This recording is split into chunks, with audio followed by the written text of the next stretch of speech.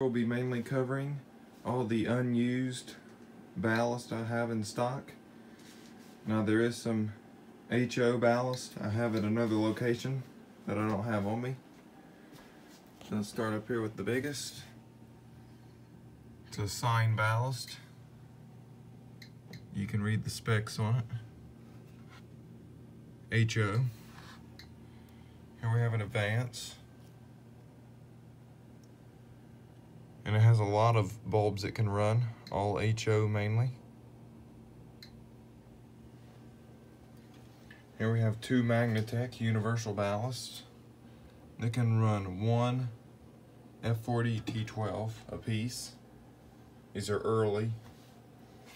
You only can run bulb, not two. This is a new old stock General Electric ballast, two F40 T12s. This is a F96 T12 dual ballast for the single pin bulbs. These two ballasts here are the same. They each of them can run three of each of these bulbs here. These are early T8 ballasts. Up here we have a dual 110 watt HO ballast and advanced cool coil. This is a very early dual F40 rapid start ballast. Pretty big. It's in an odd shape. It, it's not narrower than these new ones. And a lot wider too. We have a Valmont Electric dual F40 ballast two advanced cool coil ballasts, both F40 T12. Couple more advanced F40 T12 ballasts. Here's a Mark III Energy Saver, F40 T12. Here's another F40 T12. Here's a General Electric F40 T12 ballast. These will explode on energy saving bulbs.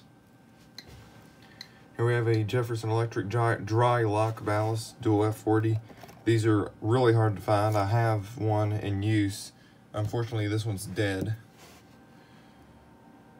Here we have a bench light, which are real junk. They explode after about 20 years of use. Caraway ballast, dual F40 T12. A US fluorescent dual F40 T12. Here's the early electronic rapid start dual F40 T12 ballast. Moving on to electronic ballast. Dual F40 T12 ballast.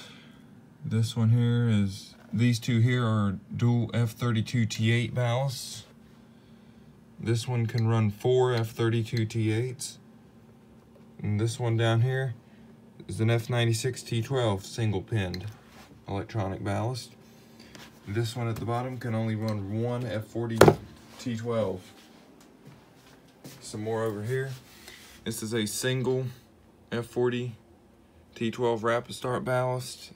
This dirty looking thing right here, which amazingly still works, I just took it out because it has unsafe wiring, is a 22 watt Circline ballast. And that one came out of that fixture right there. Here we have a dual F20 T12 ballast and a 32 watt and a 22 watt rapid start ballast. And I have a bunch of these preheat chokes that can range from an F8 T5 all the way up to a 20 watt fluorescent lamp.